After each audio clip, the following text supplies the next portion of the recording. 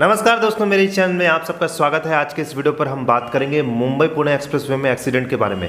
Accident analysis करना अपने आप में एक बहुत बड़ा सब्जेक्ट है और बहुत ज़रूरी है भारत जैसे देश के लिए जहाँ हर दिन हज़ारों लोग मारे जाते हैं। हर रोज़ एक्सीडेंट हो रहा है। कोविड से जितनी डेथ नहीं होती, उतनी एक्सीडेंट से होती है। बहुत ज़रूरी है इस पर रिसर्च करना और इसके प्रॉब्लम को सॉल्व करना। तो चलिए शुरू करते हैं। आज के इस वीडियो पर किस तरीके से मुंबई पुणे एक्सप्रेस वे में एक्सीडेंट हुआ। लेकिन उससे पहले मैं आप लोगों से निवेदन करूँगा द रोड एक्सपर्ट में आप पहली बार आए हैं तो चैनल को सब्सक्राइब करना बिल्कुल भी मत भूलिए और साथ ही बगल में बेल आइकन को भी दबा दीजिए। चलिए शुरू करते हैं। मुंबई पुणे एक्सप्रेस वे बहुत इंपॉर्टेंट एक्सप्रेस वे एक सौ बानवे किलोमीटर है दोनों के बीच की डिस्टेंस यहाँ पर अक्सर एक्सीडेंट होते रहता है। तो चलिए कल जो एक्सीडेंट हुआ, उसके बारे में हम वीडियो साझा करते हैं।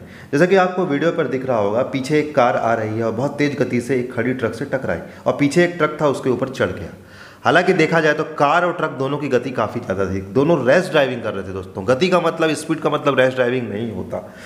क्योंकि वहाँ पर आप देख रहे हैं कि किस तरीके से ट्रैफ़िक की डेंसिटी बढ़ी है तो उसमें गति दोनों को कम रखनी चाहिए।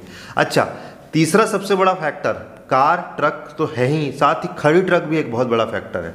अगर वो खड़ी ट्रक नहीं होती तो कार आराम से किनारे निकल जाती ये देखिए, जैसे ही कार आगे बढ़ती है, किनारे जाती है, अचानक से वो ब्रेक ठुक जाती है उस ट्रक से और वो पीछे वाला ट्रक उसके ऊपर चढ़ जाता है। मतलब पीछे वाले ट्रक की उतनी गलती हम नहीं मानेंगे जितनी वो खड़ी ट्रक की गलती है। और साथ ही उस कार वाले की, जो कि इस तरीके से रेस ड्राइविंग कर रहा है इस पर्टिकुलर आपके सेक्शन पर, जहाँ पर काफ़ी ज़्यादा ट्रैफ़िक है। एक बात दोस्तों बता दूँ कि गाड़ी में जो तीन लोग बैठे थे, सारे मारे गए।